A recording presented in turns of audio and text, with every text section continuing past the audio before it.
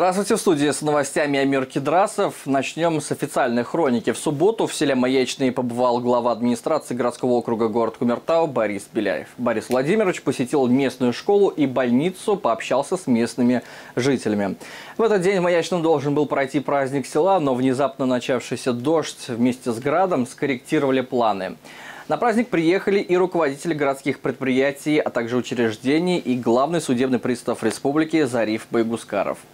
Праздничный концерт отменили, но вот благотворительную акцию гости праздника все-таки провели. Под проливным дождем участники проекта «Помоги собраться в школу» посетили семьи, попавшие в трудную жизненную ситуацию.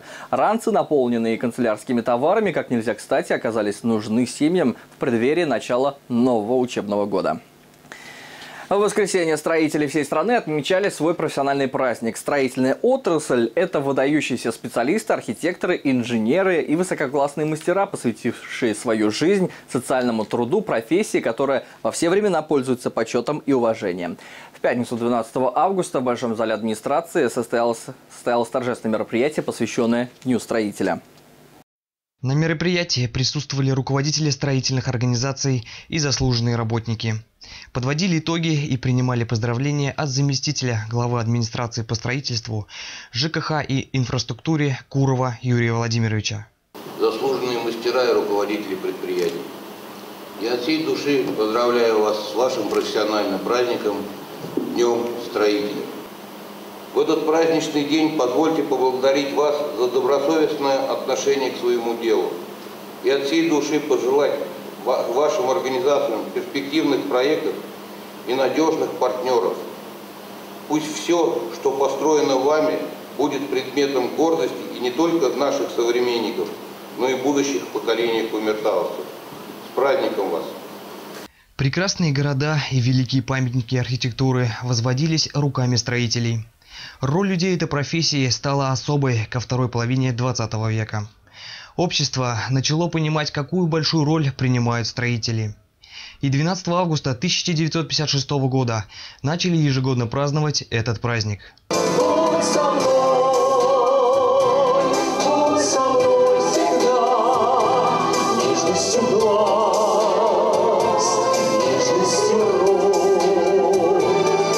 Машинисты, инженеры, специалисты производства и просто рабочие получили почетные грамоты и благодарственные письма от Министерства строительства и ЖКХ Российской Федерации. Аплодисменты, друзья! Строительство сегодня находится на новом уровне по качеству применяемых технологий. На сегодняшний день самой крупной строительной компанией в городе, наверное, можно назвать ООО «Акрополь». Со словами благодарности, поздравлениями и о ходе строительных работ выступил директор ООО «Акрополь» Гайсин Хайдар Миншарифович. В сегодняшнее время мы ведем строительство Ледового дворца, который должны завершить в будущем году. Обещает, что финансирование будет продолжаться в этом году и переходить на будущий год. Также мы строим жилье. Сегодня завершаем объемы строительства жилья по переселению из ветхого жилья аварийного населения нашего города.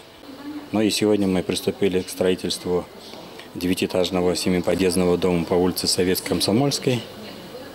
И, соответственно, там будет строительство вестись года 2-3 и будет завершаться целым кругом квартала, завершение квартала, потому что ну, замыкаться будет вторым домом, который будет шестиподъездный.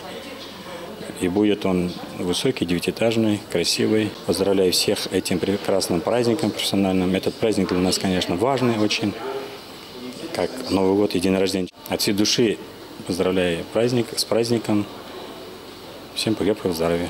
Для почетных гостей был организован праздничный концерт.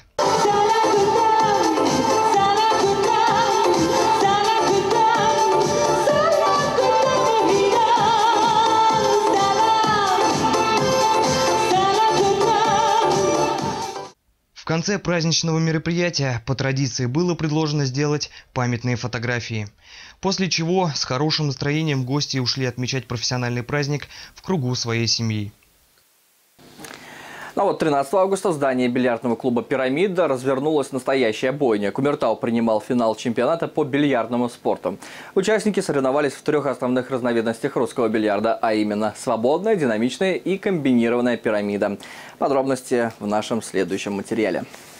На минувших выходных бильярдный клуб «Пирамида» стал площадкой проведения чемпионата по данному виду спорта.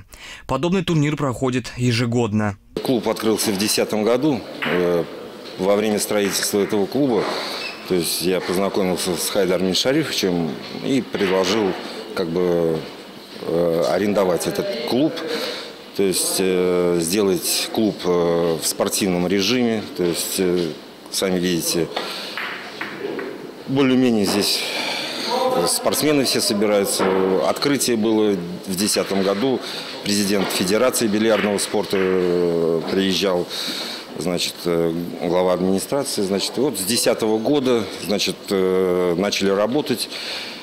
Была установка, значит, больше спорта. И каждый год проводилось не менее 50 турниров. Э, приезжали участники со всей Башкирии. Возрастных ограничений организаторы не ставили. В общей сложности за призовые места боролись 16 человек. Турнир собрал участников различного уровня мастерства. В основном это люди, проводившие свое свободное время за бильярдным столом в компании единомышленников. Азарт, сила и воля не покидала участников ни на минуту. Сегодня проходит финальный этап приуроченный ко дню э, строителя. Значит, э, с апреля месяца проводили этапы, выявили э, восьмерку сильнейших, вторую восьмерку. Соответственно, участники из города Салавата, Мелиуза, Кумертау. Вот, проводим сегодня финальный этап. Всем, конечно, удачи, красивой игры, самое главное. Вот. Бильярд вид спорта такой интеллектуальный. Э, спокойный, то есть драк не бывает, все люди культурные. За красивую игру. Работает клуб не только для бизнеса, а для самоутверждения. В этом клубе э, царит спортивный дух, и мы э, с удовольствием приезжаем на этот турнир, принимаем участие. И наши уча... э, спортсмены, наши ребята получают удовольствие, посещая настоящий сегодняшний турнир. По результатам турнира в первой лиге первое и второе место заняли спортсмены из города Салавата. Это Александр Попов и Артур Зубаиров. На третьем месте расположился Николай Рузапов из города Милиус. Четверку сильнейших замкнул кумертаусец Вячеслав Курочкин. Во второй лиге всю тройку призеров заняли представители города Кумертау. Четвертое место осталось за представителем Милиуза. По традиции, в конце турнира состоялась церемония награждения. Организаторы также позаботились о том, чтобы у участников была должная мотивация. Для победителей и призеров, помимо кубков, медалей и дипломов, были приготовлены денежные вознаграждения. В летний период учащиеся всех школ проходят обязательную практику на пришкольных участках. Работа детей организована в соответствии с планом учебно-воспитательной работы школы. Лето – традиционная пора прохождения трудовой практики для учащихся на пришкольных территориях. В процессе работы на учебно-опытном участке ребята не только осваивают ручной труд, но также знакомятся с основами охраны природы. В гимназии номер один все классы по установленному графику трудятся для благоустройства и озеленения территории своего учебного заведения. Ну, мы поливаем, мы ухаживаем за нашими цветами, которые мы сажаем в школе.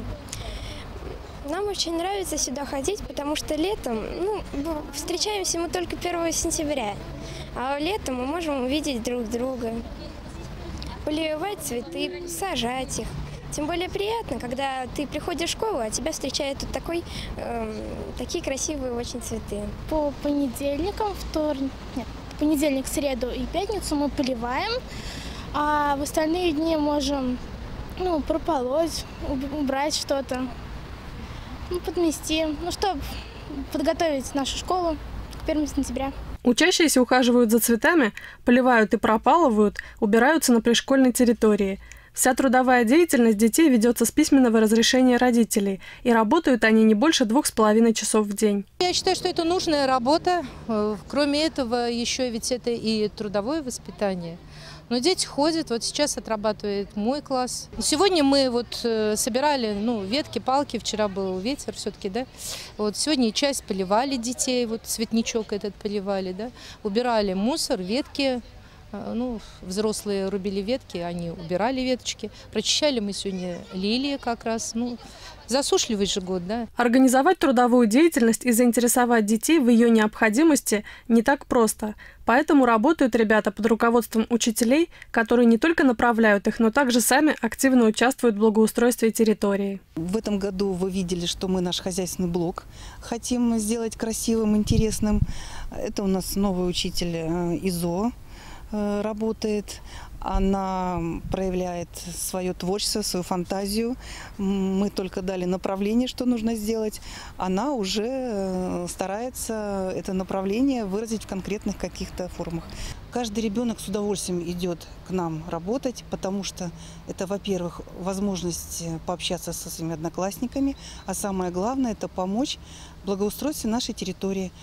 Лето уже почти подошло к концу, а детский смех все так же доносится из лагерей нашего города и не собирается, похоже, умолкать. Чем занимаются ребята и чем живут, смотрите в сюжете Аркадия Зубкова.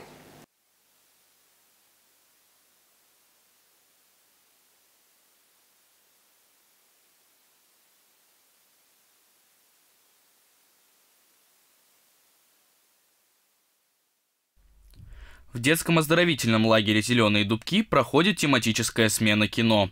Но она является нетипичной. У ребят есть свое государство, свои партии и даже своя валюта. Тематика у нас смены, как, наверное, в большинстве лагерей кино, но кино необычное. А, в нашем государстве Дубльвуд существует много партий. А, также у нас очень часто проходят игровые часы, внутри которых разворачивается игровая модель, в которой ребята а, погружаются в свои партийные тематики, они э, завоевывают территории, также они ведут борьбу за золотой компас. Э, золотой компас – это главный трофей нашей смены. Ответственный за данное погружение является руководитель медиастудии лагеря «Зеленые дубки». Мы создаем игровую модель, где есть какая-то завязка, кульминация развития событий, где многие вещи непредсказуемы. Ну, для детей, для нас, мы игротехники, мы понимаем, куда двигаться и что делать. Мы ставим целью сплочения отрядов, сплочения лагеря и берем за основу ну, наиболее такие интересные для э, детей образы. По словам самих ребят, такая идея постановки смены им пришлась по вкусу, и они с удовольствием приехали бы еще раз. Лагерь тут очень хороший, тут, как сказать, нет свободного времени, постоянно мы чем-то заняты. На тихом часе мы постоянно все спим. Мы после стола, после стола мы ходим на всякие обучарии. Тут еще хорошо то, что тут игротехники. Ну, я тут еще не приеду первый раз, я тут уже второй раз как приехал. Тут очень хорошо, не скучно никогда не было. И вправду у детей нет времени просто так сидеть на месте. На базе лагеря организовано более 20 всевозможных кружков под названием «Обучарии». В них каждый ребенок смог найти занятия по душе. В лагере каждый день после полдника открытые обучарии. А, от плетения косичек до тех же самых э, луков. Здесь можно и развить новые таланты, и открыть новые таланты, и развить старые – ну, я могу сказать точно, отправляя сюда своего ребенка, по себе я могу сказать, можно быть уверенным, то, что он не только здесь получит море, море впечатлений от мероприятий, от игр, от игровых часов, но и научится многому интересному. Еще одним звеном в этой цепочке являются вожатые. На них возложена большая цель – это помогать детям. И глядя на счастливые глаза ребят, их кураторы с этой целью справляются. Конечно, мне нравится атмосфера этого лагеря. Здесь я работаю уже третью смену. Дети, конечно, разные. Что вот все эти смены, все три, они отличаются. В первой смене одни дети, во второй другие, в третьей третьи. И все они очень хорошие, и ко всем быстро привыкаешь. А потом сложно отвыкать от них. Я приехал сюда на эту смену в 2016 году всего лишь первый раз. А, мне очень много помогали другие вожатые, была большая поддержка от них так как, ну, неопытный я еще был. Но со временем ты привыкаешь к детям, находишь к ним свой подход а, и постепенно к ним все же привязываешься. А, они становятся намного ближе к тебе. И когда ты а, уходишь куда-то или ну, ненадолго отлучаешься, они уже начинают по тебе скучать. Поэтому мне очень нравится здесь, так же, как и многим детям. Аркадий Зубков, Сергей Николаев, телерадиокомпания «Арис». Это была последняя информация выпуска. Спасибо, что были с нами. До встречи на телеканале «Арис».